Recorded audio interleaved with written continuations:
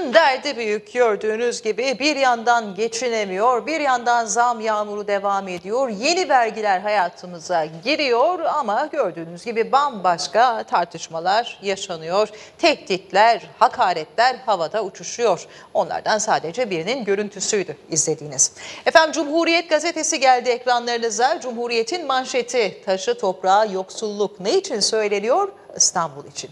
İstanbul için yıllar önce taşı toprağı altın derlerdi. Artık öyle değil. Cumhuriyet bugün aslında günün önemli başlıklarından birini atıyor. Türkiye'de yaşamak her geçen gün zorlaşıyor. Ankara'da 41.795 emekli hayatını sürdürmek için her ay destek almak zorunda kalırken İstanbul'da yaşam maliyeti asgari ücretin tam 4 katına ulaştı. Yaşam maliyeti Haziran ayına göre %4,76, geçen yılın aynı ayına göre ise %71,40 oranında artış gösterdi diyor Cumhuriyet Gazetesi. Ve İstanbul'da temel ürünlerdeki artışı da bakın ekranlarınızın hemen sağ köşesinde e, görebiliyoruz. Zeytinyağı şimdi TÜİK'e göre TÜİK zeytinyağını zeytinden ucuz hesaplıyor ya zeytinyağındaki yıllık değişim İPA birilerine göre %112 düzeyinde gerçekleşiyor. Hepimiz merak ediyoruz TÜİK o enflasyonu nasıl hesaplıyor, neye göre hesaplıyor? İşte İstanbul Planlama Ajansı'nın ortaya koyduğu o veriler ve İstanbul'da yaşam maliyeti.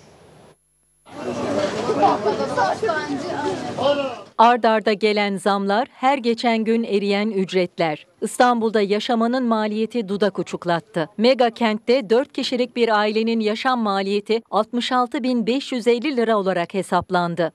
İstanbul Büyükşehir Belediyesi'ne bağlı İstanbul Planlama Ajansı Temmuz ayı için yaşam maliyeti raporunu yayımladı. İstanbul'da yaşamanın maliyeti bir yılda %71.40 arttı. Bir diğer deyişle İstanbul'da yaşamak için yurttaş her gün cebinden 2117 lira harcıyor. Aylık maliyet Ocak ayında 53.058 liraydı. Bu da 7 ayda 13.492 lira, bir yılda ise 27.722 lira artış demek. Aynı zamanda yurttaşın mutfağına da zam ateşi düştü. En çarpıcı fiyatlardan biri yaklaşık %112.87 artış oranıyla zeytinyağında yaşandığı görüldü. İkinci sırada ise %106.23 ile tuvalet kağıdında oldu. Geçen yılın Temmuz ayına göre beyaz peynir fiyatı %89.61, yumurta %34.45 arttı. İstanbul'da yaşamak zor, büyük şehirlerde yaşamak zor. E, kira fiyatları aldı başını gidiyor. Bir de üstüne tabii %25 kira sınırı kalktı. E, bir mesaj yollayan izleyicimiz diyor ki 20 bin liraydı kiram 13 bin lira zam gelecek diyor. Ne olacak? 33 bin lirayı ben nasıl ödeyeceğim diye soruyor. Küçücük bir ev için ödenen paradan bahsediyoruz değerli izleyiciler. Peki TÜİK? TÜİK nasıl hesaplıyor? TÜİK'e göre kira ne kadar? 6255 lira. Nerede bu ev diye sorduk.